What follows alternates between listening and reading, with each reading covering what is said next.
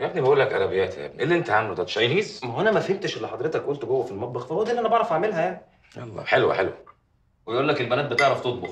طب والله العظيم البنات دي ما بتعرف تعمل أي حاجة خالص. بقول لك إيه بعيد عن العك اللي أنت عامله ده مالكش دعوة بالبنات. البنات دي أحلى حاجة في الدنيا. أحلى حاجة إزاي؟ ده أنا ما قابلتش حد متجوز إلا لو كان بيشتكي وهنروح بعيد ليه؟ ده بابا رايح جاي يشتكي لحد دلوقتي.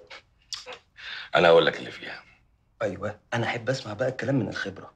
حتة البسبوسة المحروقة اللي في طرف الصينية. أو الحتة الملبسة اللي ما يقدرهاش غير الأكيلة. قول. سيبك من اللي بيشتكي. اللي بيشتكي ده ما بيقولش كل حاجة حلوة بيقول الأزمات وبس.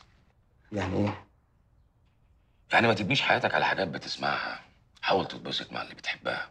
وهي كمان لازم يبقى عندها استعداد تتبسط معاك. لا عمي ابن أخوك ميح خالص في الحتة دي. فأرجوك فهمني أكتر. حاضر. افهم يلا. خد اللي بتحبك وتقدرك وتعرف قيمتك. اوعى تاخد اللي بتفكر في نفسها. أوعى. فهمت؟ ولا أنت زي الأكل اللي أنت عامله ده؟ لا أنا بحاول أفهم أهو طب إيه دوق بس الباكيتة دي إيه؟ وكلمني في الموضوع ده أكتر. أقول لك يا سيدي. هات البكات يا رب تطلع أحسن من المكرونة اللي إحنا فيها. بص يلا زي ما قلت لك حاول تتبسط معاها. يبقى بينكم علاقة خاصة. تبقوا صحاب. الحكاية مش حكاية جواز وروتين ومشاكل وبس. اللي بينك وبينها يفضل بينك وبينها.